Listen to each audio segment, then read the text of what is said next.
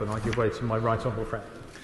I thank my right honourable friend for giving way and being so generous in uh, interventions already today. Uh, he's quite right in what he says around uh, the challenges in Northern Ireland for people in Northern Ireland not being able to get access at this budgetary time with the structures we're seeing and the problems we're seeing economically, and a, that's why it's so important we see Stormont back up and running. So would he agree with me that, bearing in mind, we all know, and as has been touched on already, why Stormont is not functioning at the moment, that it is imperative that the European Union see that the sense of feeling in Northern Ireland across communities, and particularly in the unionist community, is such the best thing we can see happen is the European Union, without him commenting on the detailed negotiations, that the European Union shows some flexibility to allow an agreement to be formed between the UK government and the European Union that will will facilitate Stormont being back up and running, especially in light of the 25th anniversary of the Good Friday Agreement being so close upon us.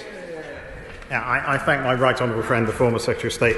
uh, for his wise words. Um, and I, I know because I was present in some of the meetings that he articulated those words directly to representatives of the European Commission when he was Secretary of State. And so he, he is completely right in what he says.